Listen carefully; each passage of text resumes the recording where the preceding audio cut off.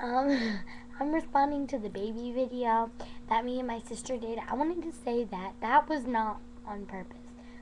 We did not really whack the um, the lamp over there on purpose.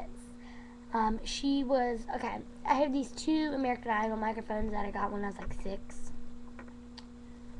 and I they were like tied together. So there was two of them, and she had one around her back. If you see it, when she goes to spin around, you can see the cord on her back. It's like on her lower back.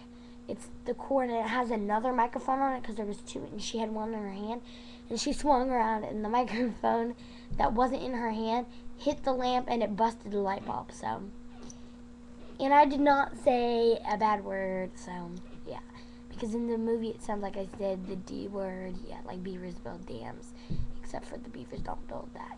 Yeah, but um, it was really funny because oh, it was just it was hilarious. I just think.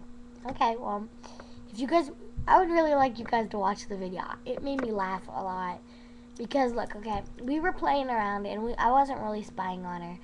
Um, and it was just gonna be like a video of me spying on her, okay? That's all we thought. So I go in the closet, and you can't see me. All you see is my face, and it's kind of blue.